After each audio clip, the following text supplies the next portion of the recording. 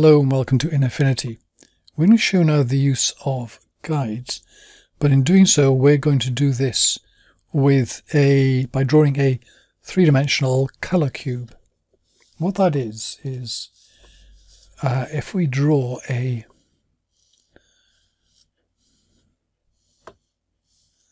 cube like this, it's going to look something like that, only a bit tidier. Then for we've got red going this way, green going this way, and blue going this way. So this will be black down here. This goes up to green there, red there, blue there. And up here we got the green and blue combined, so we got cyan. Here we got blue and red, so this is going to be magenta. And up there they're all combined, so that's white. So it's going to look like that. So we're going to start off, we're going to do this with shapes, we get some nice accurate things. So hold on the shift key and drag that out to draw it and we'll leave a one point border but we'll make that one grey. Then we'll go to the fill of this and we want to go do the green so we need to go to a gradient. And one side we're going to put the color green which turns the others down. And the other side we're going to make that black So that's going to be one side there, but we want to the blue up here, so we have to do this in a separate layer. So we'll take this and hit Control J to duplicate it. We just want to change the direction of the gradient. So if I go to the gradient tool here, I can do it this way as well. So I can drag this one up here and this one down here. So that's going to be naught, so it snaps to that edge. But That end up there, I can change that up here. It's another way of doing the gradient to turn up the blue and turn down the green. So I've got the blue and the green, I need to combine them. And the way they're combined is the, think of them in terms of the red, green and blue channels and you add up those channels and it combines the colours. Because we've got pure red, green and, and pure blue in these just only. So if I go to add, those are now combined. In fact, I can click on the top one, shift click on the top one, control G to group that. Then we've got that. And I can make that actually a little bit bigger. There we go. Make sure it stays square. And so I got from 0 to green there, 0 to blue there, and green and blue combined up there. And for another one, I can take that, hit Control J, and I've now got another square so I can drag this one over here. They snap together there because I've got snapping on. And in here I've got these same layers of course. So I've got the blue not to blue that one's already there. So I need to all I need to do is edit the green one. And for that one I'm just going to go from the other way around. So I go to fill on that. Do a reverse so I'm going from black there. I just need to change the green. Change that one to red so turn the green down and the red up. So now I've got the face here. The one on top is going to be trickier. But also now we can start using guides. So we need to bring some guides in. We'll bring the first one into the middle here. And the way that you create guides is if you say view here, you've got to make sure that show guides is on. It normally is. And so if I go into the layer here, make sure I've got the move tool set into the ruler which you've got to make sure you've got view show rulers on as well. And then I go in here and just drag out, click and drag out, and I can set that there and I can snap that there. If I got snappy on, it will snap to nice positions for me. And then I can drag another one to there and another one to there. And we're going to start drawing the corners using guides. Problem with this is that the guides don't do at angles. So we're going to have to draw lines for that. So we're going to turn off these groups for the moment so we can just see what we're doing. And we're going to need to have a 30 degree line up there doing a, I think it's an isometric projection. So pen here, click over here and shift click over there and I've got myself a line. Now I need to rotate it so I go to the move tool up here, grab this, I'm just going to rotate that to when it says 30 degrees. And just need to be very gentle with it. There we go. So now I've got a 30 degree line there. And I can, in fact, I can just let it snap to that there. So if I take this one and hit Control J to duplicate it,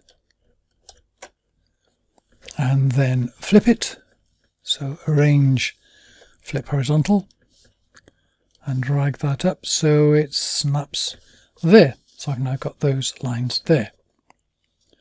Then I'm going to do a square up here. And because of the angling here, you need to sort of do this almost visually. So I'm going to take this one and this one, hit Control G to group them, and then Control J to duplicate them. I'm going to slide this up here until it looks about right for a square. So that face there probably could do with coming down a little bit. Just imagine this as being a square. But does that look right for a cube? That'll do. You can do it mathematically. We'll just do it visually. I'm going to hit Control J again and rotate it. And so do uh, arrange and do a flip vertical. And I bring this down and it's got to go across those angles there. So i have got to look into that one there. Make sure this goes to the point where it crosses those two neatly in the middle. And then this will should be on that point there and that will be that point there. So Control 0, we've now got what the cube will look like here. So we need to bring down some guidelines here because they're more accurate for snapping. So I'll bring that one down to there. Another one down to each of these points here. And see that was not snapping, so going to go zoom into that, make sure it's right in the middle point there. Control zero out again. Bring another one down to there. So each of the points, another one down to in here. And zoom into that, make sure that's about right. There we go. And then another one down to the bottom. So you get all of the points there are covered.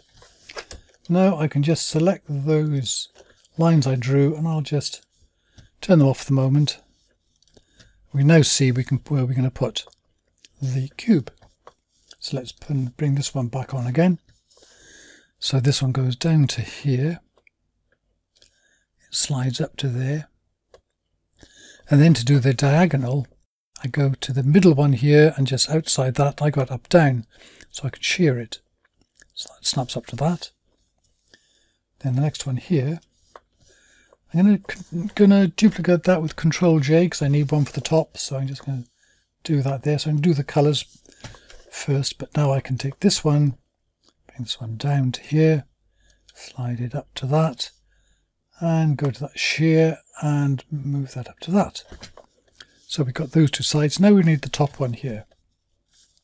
So with the top one, let's open that one out and the the naught to red there is going to be from blue to going from here blue to magenta so I go on that look on that change this here that one's going to be blue and this one's going to be magenta which is red and blue so that's that one nice there and the top one here there we go, is going to go from blue to cyan. So where it's black, I want to be blue. And make that one cyan, so that is blue and green. And the other one is blue, and that's fine.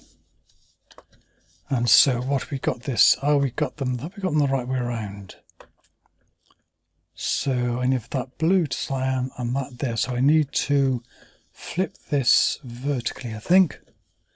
So range, flip vertical. Yep, so that blue to magenta matches that up there. And the blue to cyan matches that up there. So now I can just bring this up here. Oops. Do it with the group selected. I need to rotate this. So I'm going to take that and do rotate that 30 degrees.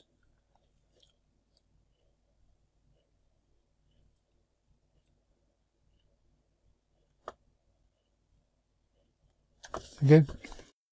So now I can take this and snap that down to there and up to that. Then I go to the skew here, skew that down, that should match that. And there we go, there's our cube. To get rid of the guides, I can just go to View and the Guides Manager here. And here you can say you can set all sorts of things about it. But I just want to remove all guides, which is down there. And there we go, there's our cube with the white lines around the edge of it, which you can get rid of if you want to. You can change the the uh, on here. If you go to there, the stroke on all of those, there's around all of them. So, oops, excuse me. Go to the move tool, take that there, and it's gone white because I think it's adding up. And I can then go to down here, change the stroke to whatever I want. If I want to turn that off, there we go. That's the strokes turned off. So it's, you can see they're just the intense colours and the rough shape of where the cube is. Anyway, that's it. Hope that was helpful and thank you very much for watching.